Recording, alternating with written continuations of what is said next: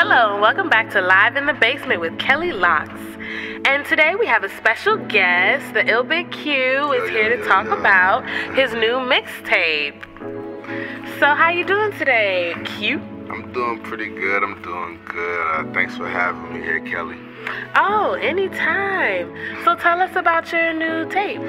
Um, it's called Lessons Learned: Progression of a Man Too. It's um, the second one, obviously, but it's the third project I've released um to the public.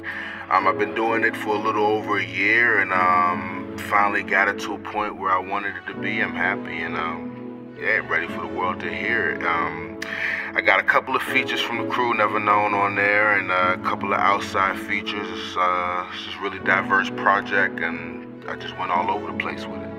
You said the crew never know. What is that? it's Neva Known Entertainment, NKE, whatever you want to call it. I mean, it, it is what it is. We're forced to be reckoned with. I mean, me and my boys, we, we, we just we've been dominating in the DMV, and uh, we got plenty of material this year, and uh, about to do it. Speaking of material, the first track on your mixtape is called Rome. What's that about?